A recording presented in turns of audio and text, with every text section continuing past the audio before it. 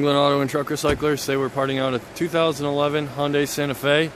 Stock number is M91186. It has 118,000 miles. On the front of the vehicle, we've got a good left front headlamp as well as a good front grille. We got a good front rebar. We also have a good left front knee assembly. Comes complete with control arm, spindle, and strut. Left front fender is insurance quality. It does have a little bit of lip work. Left door is insurance quality showing no damage. We got a good black molded mirror on the left hand side. Rear door showing one small ping. Got a good complete rear suspension on the left rear. Got good quarter window glass.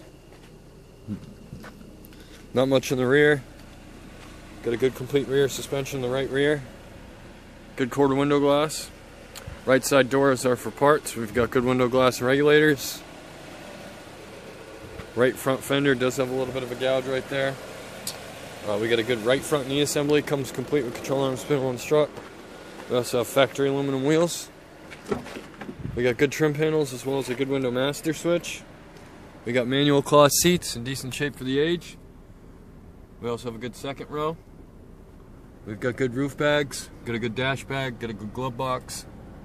We have a good radio and heater controls, good floor shifter, good center console. We have a good steering column as well as a good steering wheel bag.